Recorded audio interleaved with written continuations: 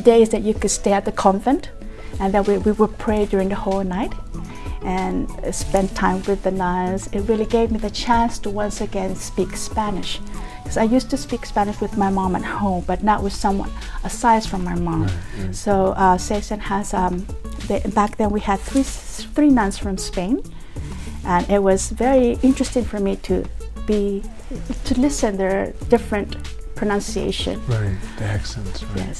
So one of the nuns took care of me and said, "Okay, Masami, you although you don't belong to the Spanish department, we like, why don't we practice Spanish together?" So she would give me homework every week.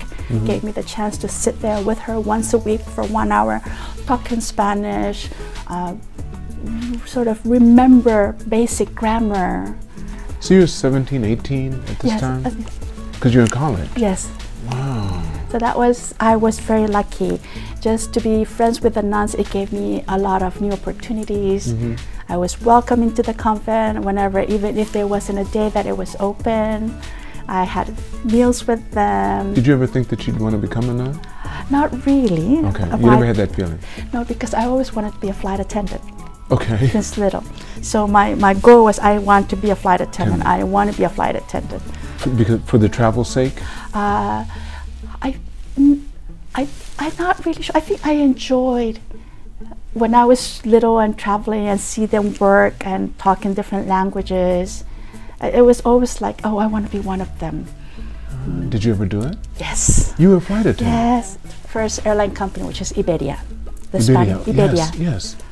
Yes. And how was, then what happened? How'd you get there? So you ended up being an airline attendant there? Um, first, they they asked me if I was interested to doing an office work because um, of all the screenings that they had, they chose someone who already was a flight attendant who had experience.